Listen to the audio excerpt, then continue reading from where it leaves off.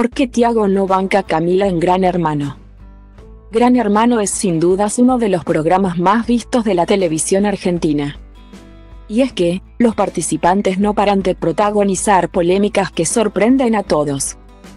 De hecho, hace algunas horas un tenso momento se vivió en el ciclo.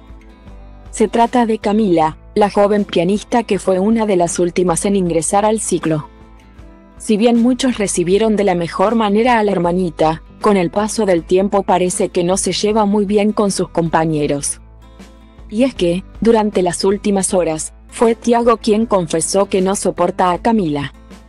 Todo se dio cuando la Tora advirtió al joven de González Catán, Camila está llevando y trayendo.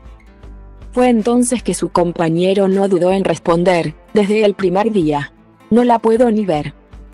Cabe recordar que Camila nominó a la Tora y la acusó de imitarla, la primera persona que voy a votar es a Lucila.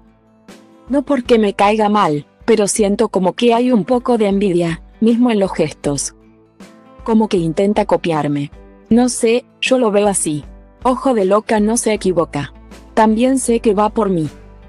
Al enterarse, la Tora se indignó y durante una charla con Nacho sorprendió al destrozar a Camila y revelar cuál es el plan que tiene, fue la primera que dijo del lleva y trae y era la que estaba con Ariel y fue a decirle a las chicas. No querés que hable mal de nadie y el primer día hablas mal de mí. Entonces, decímelo en la cara. Si le da, si no le da me dice el lunes, no me da. Igual, ella quiere que si dice que la imito. La voy a empezar a imitar. Y ahí que salte la verdadera personalidad. Hermoso. Va a ser re chistoso y se va a querer morir.